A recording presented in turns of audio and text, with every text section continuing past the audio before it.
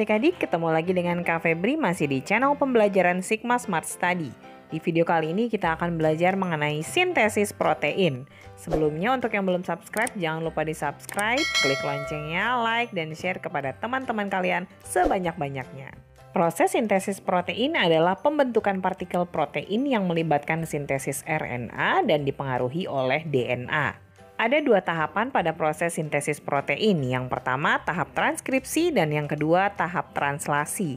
Kita akan bahas mulai dari tahap yang pertama, yaitu transkripsi. Proses transkripsi terjadi di dalam nukleus.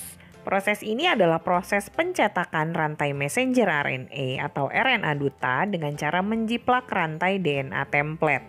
Proses transkripsi dibantu oleh enzim RNA polimerase.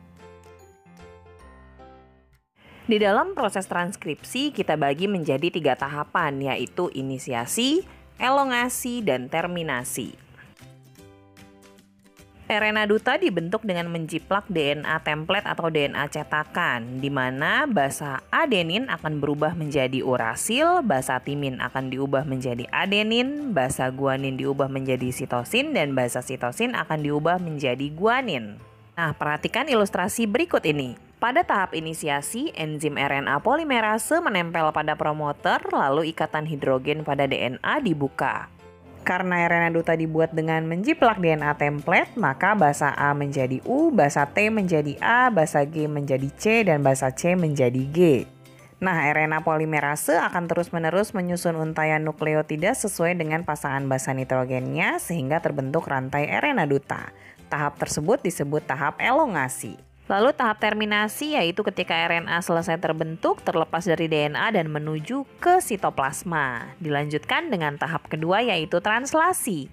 Tahap translasi terjadi di sitoplasma dengan bantuan ribosom. Setiap tiga basa atau yang disebut kodon akan diterjemahkan menjadi satu asam amino. Translasi terbagi juga menjadi tiga tahap yaitu inisiasi, elongasi, dan terminasi. Inisiasi adalah ketika ribosom bertemu dengan start kodon, elongasi adalah penerjemahan kodon satu persatu, dan tahap terminasi adalah ketika ribosom bertemu dengan stop kodon. RNA yang membawa kodon akan keluar dari nukleus menuju ke sitoplasma, lalu datanglah ribosom subunit besar dan kecil yang akan menerjemahkan kodon satu persatu.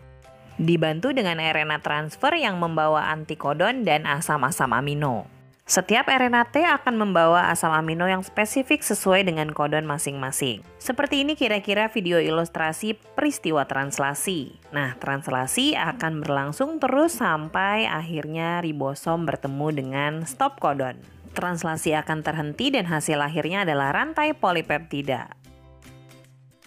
Nah, setelah menyimak proses sintesis protein, mari kita coba selesaikan contoh soal berikut ini. Suatu rantai DNA template memiliki urutan basa nukleotida berikut ini, AGG, TCA, GCT, dan TAG, maka tentukanlah rantai komplemennya, kodonnya, antikodonnya, dan urutan asam aminonya. Kita mulai yang pertama yaitu mencari rantai komplement atau DNA anti-template. Nah, untuk mencari rantai komplement DNA, bahasa A menjadi T, T menjadi A, G menjadi C, dan C menjadi G. Sehingga rantai komplementnya adalah TCC, AGT, CGA, dan ATC. Berikutnya untuk mencari kodon, kodon dijiplak dari rantai DNA template. Jadi bahasa A menjadi U, T menjadi A, G menjadi C, dan C menjadi G. Sehingga urutan kodonnya UCC, AGU, CGA, dan AUC. Nah, jika kita perhatikan urutan bahasa kodon sama dengan DNA anti-template, hanya perbedaannya bahasa T berubah menjadi bahasa U.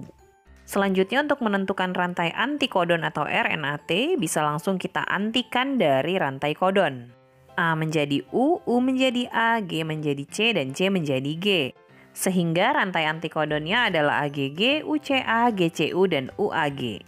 Nah, jika kita perhatikan rantai template sama dengan antikodon, hanya T berubah menjadi U. Nah, selanjutnya untuk menentukan urutan asam aminonya, kita terjemahkan kodonnya dengan menggunakan tabel kodon asam amino berikut ini.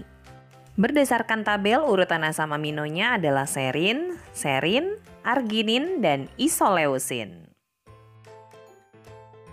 Oke adik-adik, materi mengenai sintesis protein sudah selesai kita bahas. Mudah-mudahan bermanfaat dan membantu proses pembelajaran kalian. Jangan lupa untuk terus belajar bersama Sigma Smart Study, karena belajar bisa dari mana aja.